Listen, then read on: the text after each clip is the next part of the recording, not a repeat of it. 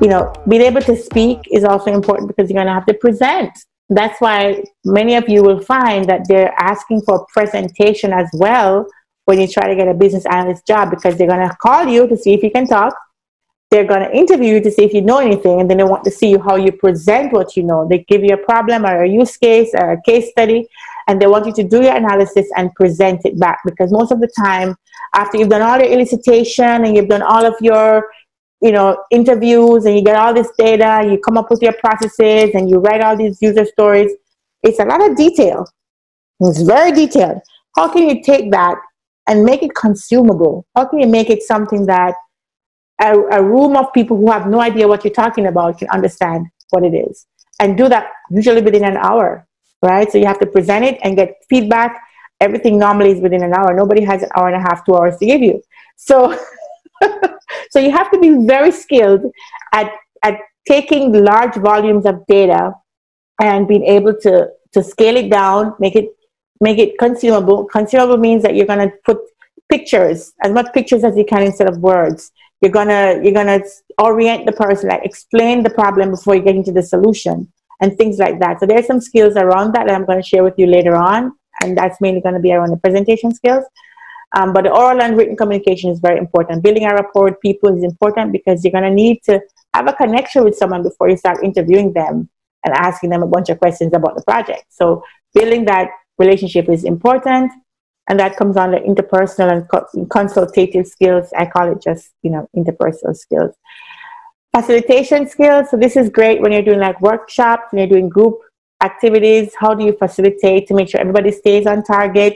There's no side conversation going on and people are distracted, or you keep them focused on the aim so that at the end of it, you know you've accomplished something. It's not just a big waste of time.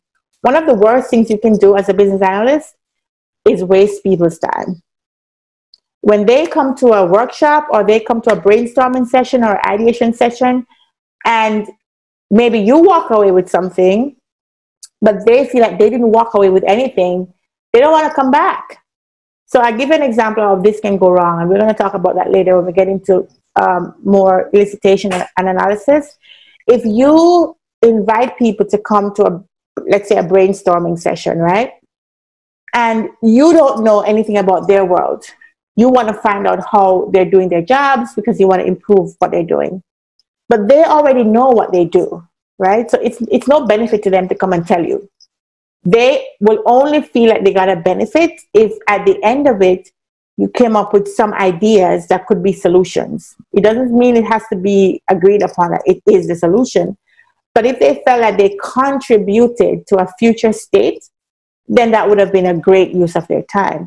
But if they came and all they did was dump what they already know on you, and they left feeling like they just told you what they already know, and you left feeling, yeah, I just learned new stuff, but they didn't get anything back, then you're not going to find them being interested to come back.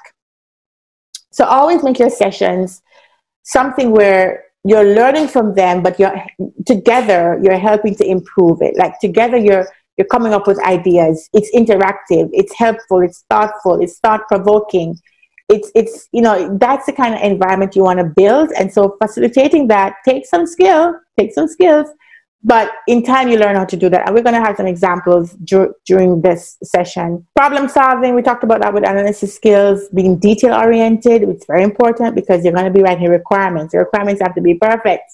Perfect in the sense that you can't really miss a requirement because when you miss a requirement it's going to show up on the on the other end. Like the client is going to see it the customer is going to see it and it's going to be pointing the finger back at you. You missed this part. So you have to try as much as possible to be detailed, to, to know all of the edge cases, all the things that are going to be impacted, to understand what you're doing so that when you write your requirements, you can have confidence. And you, it's going to be okay because you're not going to do it in isolation. That's why you have a discussion. That's why you talk to developers. That's why you talk to the clients. That's why you talk to the customers to uncover all of the things that you need to know about so that when you when you sit down to write your requirements you are very confident because you've had all of those conversations right organizational skills of course you're going to have to manage all these people so you got to get organized right you're going to have everything for me i put everything on my calendar If it's not on my calendar, it's not happening. My lunch is on my calendar. My break is on my calendar. My focus time is on my calendar. My all my meetings, of course, are on my calendar. But the calendar drives me in the sense that I know I need to get this thing done. Even my reminders. I know every two weeks I have to send out this document. I remind myself like a day before, hey, remember you have to send this out tomorrow. You have to do that. So my calendar has become my driving force and it helps me to become organized because there's so much things going on. If you don't do something to help you, you're, you're going to forget things and it's not good.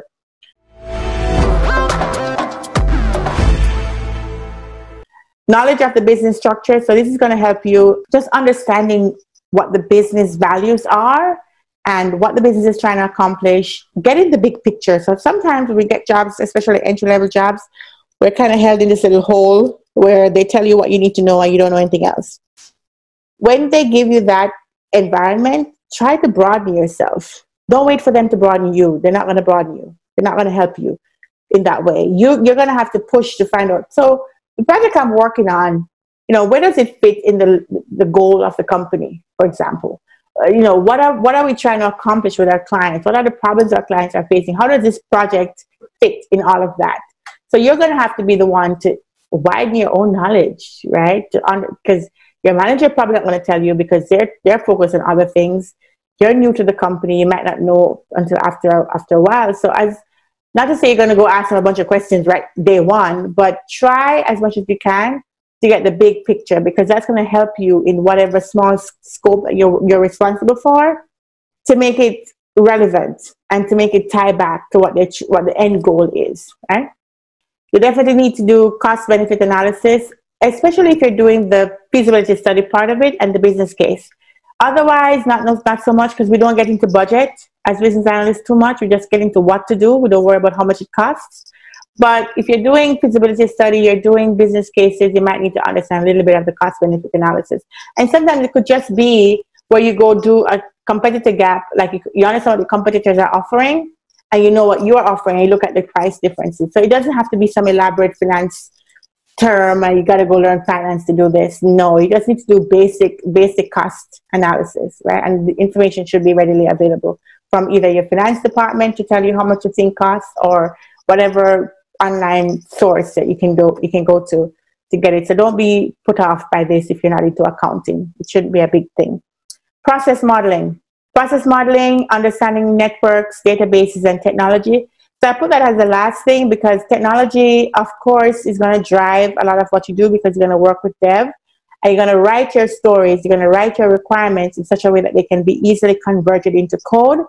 But I'm not too 100% worried about it because one, you can go learn just basic programming if you need to. Um, it's not a must. But two, you're not going to be you know, working as a developer most of the time. The most you'll probably do, like like Mary said, would be some SQL queries and even that's not even um, required for all business analyst jobs. So you should know it's additional skill like software skills, but these are things that you can learn, and I don't put it high in my totem pole of, of important skills.